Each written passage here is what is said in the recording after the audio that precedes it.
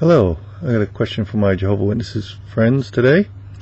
Uh, I've been I was listening to uh, Pastor Kevin Jones at the Connection Church today, and he talking about being rooted in Jesus.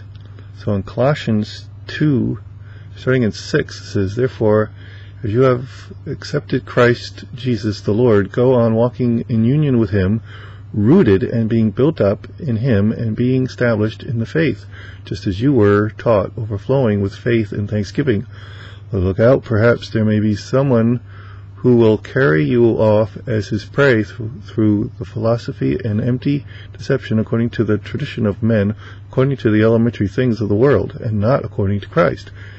Because in, it is in him that all the fullness of the divine quality dwells bodily.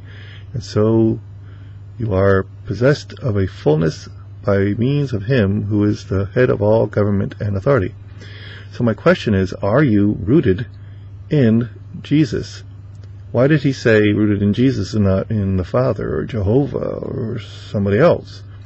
Um, why does he say rooted in Jesus? And then it gets even more interesting when you go down to to verse 9.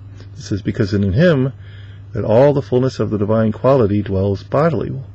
Well, the divine quality bodily, I mean, fullness, that's talking about God. So it's saying that Jesus is equal to God. God the Father, God the Son, God the Holy Spirit, the Trinity. That's how I see it. How do you see it? Please help me understand.